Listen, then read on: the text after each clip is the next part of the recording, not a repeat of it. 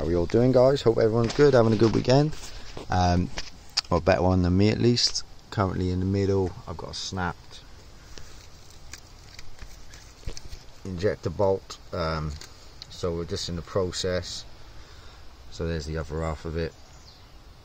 So quite deep as well. Been a bit of a pain in the ass.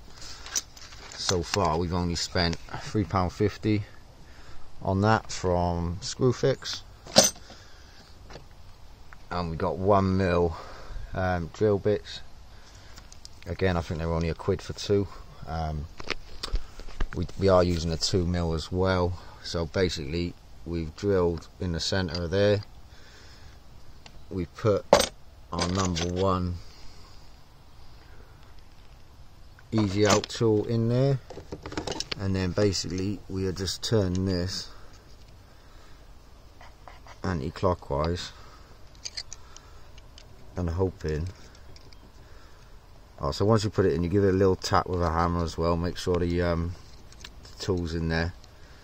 And then yeah fingers crossed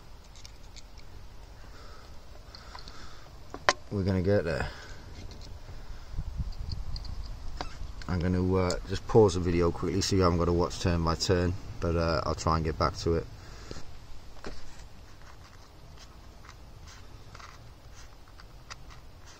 So back to it guys, this seems to have fitted in there and we've got the bugger out.